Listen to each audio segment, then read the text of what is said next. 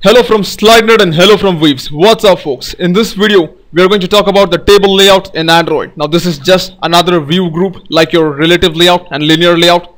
So first question, what is a table layout? It arranges views in rows and columns. Now what does that mean? Take a look at this image over here. I have column 1, column 2 and column 3. There are three different text views on the same row. And then if you see column 1 and column 2, there are two another text views which are on a different row. Now this is what your table layout does. It arranges stuff in rows and columns. So how do you define a row? Very simple. Use this class called table row in Java or use the table row XML tag to define a row in XML. Alright. Now there is no need to define columns. Now remember, once you define a table row, you just keep adding views to it and they automatically translate or turn into columns alright now if you guys are from an HTML background you know very well there's a table tag there's a tr tag there's a td tag. There is no equivalent for td in Android alright? There's just table and tr now if you guys are not from an HTML background and you probably are confused about what I just said don't worry about that because it's not related to HTML at all. So here let's see each view you place inside the table row forms a column. Very simple. I have three text views. I place them one after each other just like that and they become columns automatically. If I had a button over here and an edit text over here naturally they will also become columns. That's how the table table layout works. So here one more thing you should notice is the table layout. It's a subclass of horizontal linear layout so next let us see how the code for this thing looks right? Now if you guys notice column 1 column 2 column 3 there are three text views right? Very simple. You give wrap content wrap content for each of them and there's column 1 column 2 column 3 text. Then they are placed inside this table row example tag which I just discussed. I have given this an ID over here. The width and height I have given some values but remember for a table row the width and height values do not matter and neither do the width and height values for these views matter. Now I'll show you that after some time why they don't matter and all. But for now just remember that one. Then you have your text views over here. Again two more which is column 1 and column 2 and then they are inside this separate row. Now this is how you define a new row. You say table row and that's gonna go to the next line and start a new row. Alright and then this entire structure is placed inside this table layout tag. Now again it's very simple. You guys have previously seen how linear linear layout and relative layout looks like. Compared to them this is very simple right so next let's discuss what is a table row. So here if you guys notice column 1 column 2 column 3 table row is always match parent in width and wrap content and height. You cannot change this.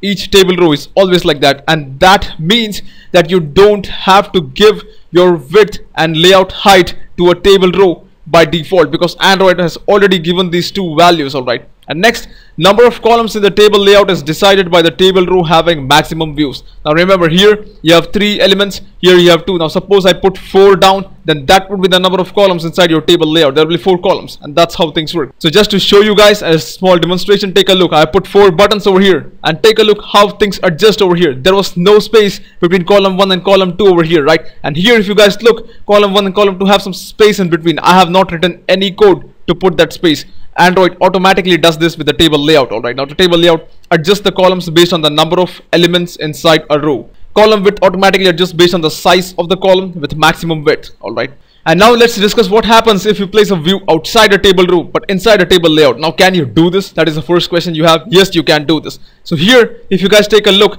I have the table layout for width. I've given a width and height. Now if you remember, I told you that I'm not going to give a width and height to the table row because it's match parent in width and wrap content in height by default and I don't need to do anything for that. And for the text view also, I have not given any layout width and layout height over here. The reason? Because since you have put the text view inside the table row it's going to be calculating its width and height automatically. You don't have to do anything for that all right? So that's why i've not given and this is a very good way because you don't have you you save a lot of lines avoiding that code and that makes things very neat all right? So here if you see there's a text view. So here if you see inside two inside and outside. Now if you take a look at this last text view over here for which I have given a background color and Android text outside the table row. Now take a look, this is outside your table row but inside your table layout. So what happens to that? Well, simple. It goes and occupies a full row over here. That's how things work. So whenever you have a view which is outside your table row, its width is going to be match parent by default and its height is going to be wrap content. Now let's see how we can modify this a little bit. A view outside the table row and inside the table layout occupies match parent and wrap content by default. Alright, so let's go and see how that looks. So here, there's uh, slight modifications which I've done over here. Alright, if you guys take a look over here, you have the same table row, you have the same uh, text view over here, which says inside, and there's another text view says inside too now. But take a look what I've done over here is I've given this text view which is outside your table row a layout height of match parent and as you guys can see this blue color has filled up the entire screen indicating that now this text view which is outside table row is taking up match parent in width and match parent in height. Now if you add another view below this it's not going to be seen because this one already has the height of match parent right?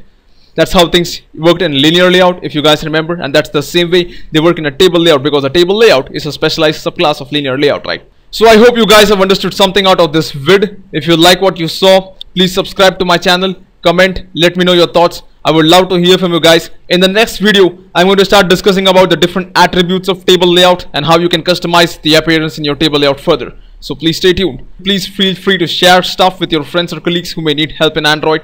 Well thanks for sharing in advance